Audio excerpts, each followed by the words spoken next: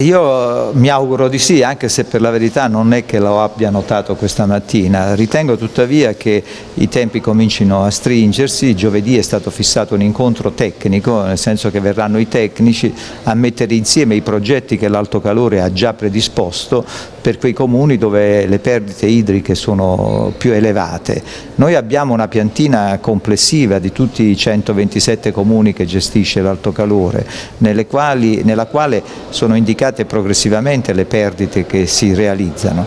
Il progetto unico che intendiamo portare avanti insieme alla provincia e agli altri componenti del tavolo è quello di eh, puntare sui progetti già pronti che attengono a comuni diversi cercando di farlo diventare un unico progetto che possa essere inteso come grande progetto dalla Regione e dunque essere finanziato con i finanziamenti europei. Ma per gradi si procederà sicuramente perché non sarà possibile intervenire su tutti i comuni nei quali le perdite sono presenti.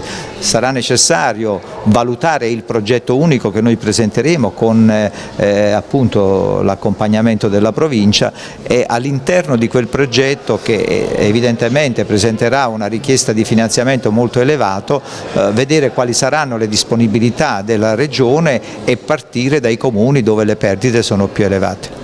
Ma ripeto, eh, fino alla noia, queste eh, polemiche mi sembrano davvero strumentali e pretestuose.